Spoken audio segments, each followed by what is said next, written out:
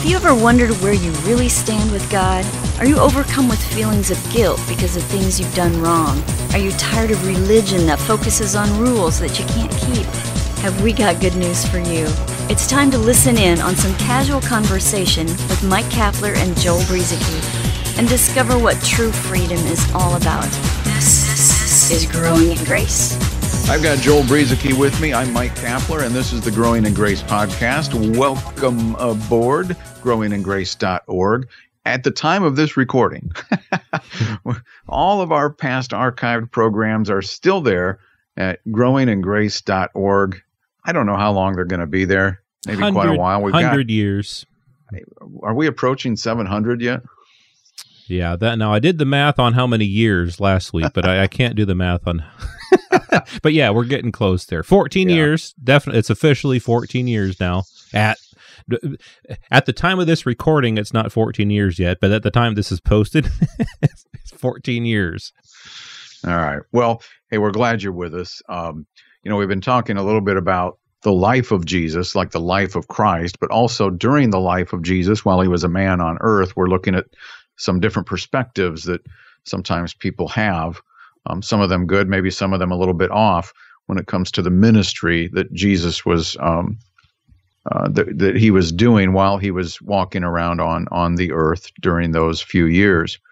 Joel, one thing that I've heard over the years uh, through different Bible teaching and, and whatnot is that the, the goal for us Christians is really it's it's really all about becoming more like Jesus. And I think there was a time in my life before I came to a, a, better understanding of the gospel of grace where that that made sense to me, um, because we're just all working at trying to become, you know, better, better behavior, uh, less sin, more good stuff, different lifestyles, and and all of this, you know, more church stuff, more serving, more commitment, more prayer time, more Bible time, come up with your own list. Everybody has one. Hardly any of them match, but everybody has a list, right? So doing all of these things is going to make us more like Jesus, right? Where do you think people go wrong with that? Where do I begin, Mr. Kapler? Where do I begin? Well, you know, become more like Jesus, actually, just easy enough. Just, yeah, do all the things that you just said that's you know pretty simple. At least in many uh, sermons. It, it may may seem like yeah this is something that we should do. This is this is what we're here for. We're here to become more like jesus. Uh, but yeah how how would we even go about that? I'll start with with saying that okay jesus he is 100% righteous. He he came to the earth as a man and he never did anything wrong. And so in one sense that would be the goal to never do anything wrong if you're going to if you're going to be like Jesus. You're going to always completely 100% of the time obey God the Father. That's to be like Jesus. You're going to you're going to never fail at doing that. You're going to always have a good answer for the people who come to you. Uh, because Jesus, people had questions for Jesus, and he always had the right answer, and it wasn't always what they would think it would be. So you got to be wise, uh, completely 100%. And like you said, there's church service, there's uh, loving people as yourself, there's loving God with all your heart, soul, mind, and strength. Um, so many, there's the goal that would be the goal. I mean, I, and I'm just speaking off the top of my head, really, that uh, what the goal would be if we're going to be like Jesus. And so, with that goal of 100% righteous behavior, complete obedience, and all that stuff. So, yeah, if if we were to shoot for that goal, eh, that would be to me like a 1,000 mile walk where we can make it about maybe half an inch a day and in other words, to me, to become more like Jesus through what I do, through the things that I do, would seem like it, it would just be an impossible, a completely impossible task.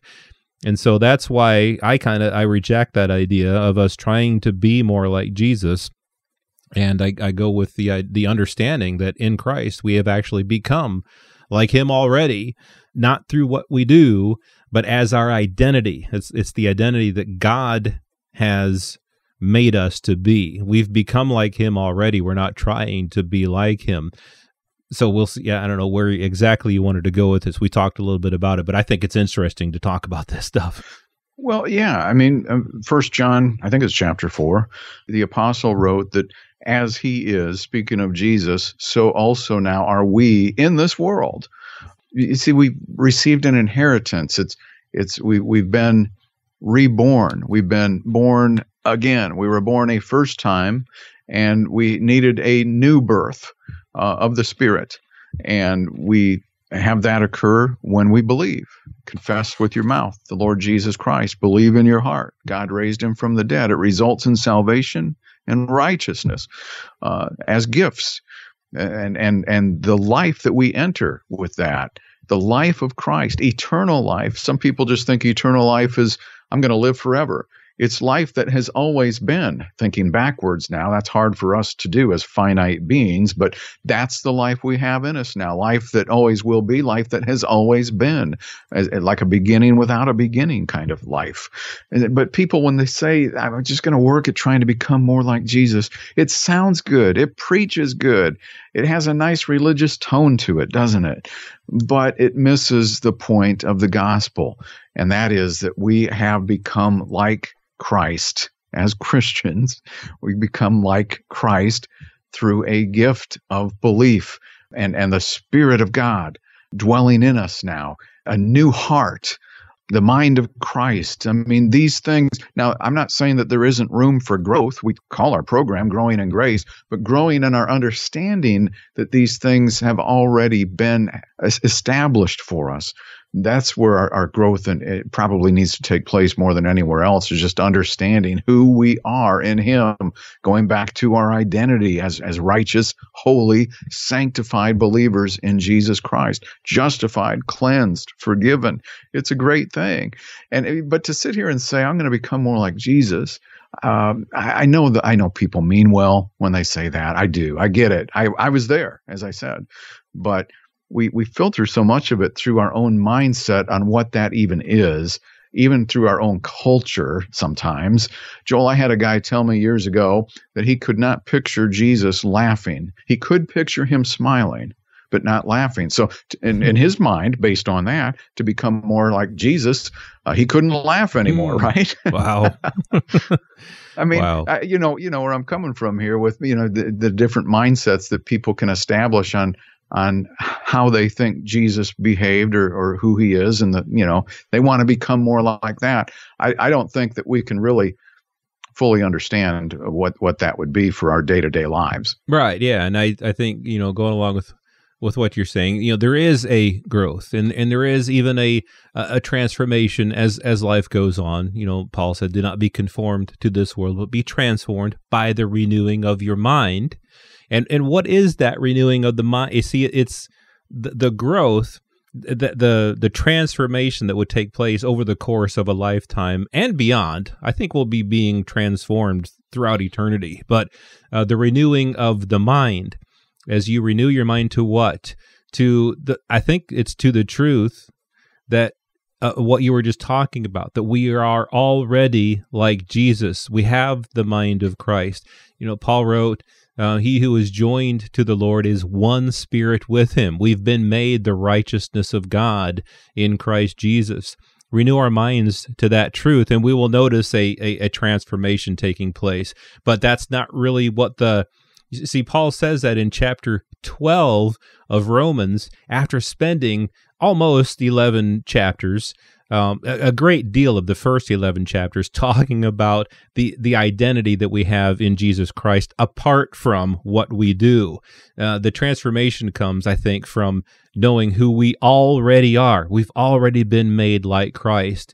And so as we renew our minds to that truth, yeah, we're going to see some changes. But that, that change is not what life is about in Christ. It's a result of the life that we have in Christ. But really, so many people have I think a knowledge of what they're quote supposed to do. And and again like you say their list their lists will vary. One denomination has these certain requirements, another denomination has these, or one preacher has these this list of what it looks like, or someone else will preach something else and and nobody really has the same list of what it's supposed to look like. But either way people go to church and they hear this list and these principles of all the things that they're supposed to do. And all the while they are missing out on the life of Christ who is in them and the truth of their identity that has nothing to do with what they do, that has nothing to do with what we're talking about here, becoming more like Christ. It really has nothing to do with all that stuff really it's it's an identity that, that it's an identity that we have received as a gift. We've been born anew. We've received new life. We were born once as a human being to human parents and we got our identity from them. Now we've been born again spiritually speaking and we're sons of the living god and that's our identity. And it's not based upon trying to become anything trying to avoid this and do this. It's really based solely upon birth and and what God the identity that God has given us again, apart from anything that we do. Yeah, apart from anything that we do. That's it. Because that, that going back to the the birth and the inheritance thing, I mean, it's just something that is gifted to us. We don't really have you know any control over that. It's it's just something that god has gifted to us. It's it's it's all about life. He who has the son has life. He who does not have the son of god does not have life. And so this is where we're at here today. How do we become and this is another one maybe we can get into this next time. How do we become a better follower of jesus? Um, how do we become more like him? And you know i'm not trying to come down on people who insist on calling themselves followers of jesus but most of the time, almost all of the time, that that word appears, it's in the four books known as the Gospels because the followers were people who literally were following Jesus as he went from one place to another. So when we kind of talk, we kind of throw these uh, these words around today about um, becoming a follower or being a follower. What does that mean exactly? What does it mean to be a follower? How many followers do we have here today of Jesus? Uh, and so we, we kind of throw this stuff around, but really, I'm not following Jesus from one place to the next like the followers um, described in, in the scriptures. It's kind of a different thing, but maybe we can get into that a little bit more next time because we'll find out that even those who were following, they stopped following. When? At the cross. And we'll get more into that. Yeah, yes, indeed. We'll get more into that, talking about you know, this catchphrase that people talk about identifying ourselves as followers of Jesus. So we'll do that next week. And then after that, we'll talk a little bit about the law and how Paul says the law is not of faith. So we'll spend a week or maybe more talking about that and how, as believers, are we under the law or not? Of course, uh, you know the answer to that, but we'll talk about that in the weeks to come right here on Growing in Grace at growingingrace.org. This has been Growing in Grace with Mike Kapler and Joel Brueseke, heard online through various internet sources around the world each week. To access hundreds of past programs, visit graceroots.org.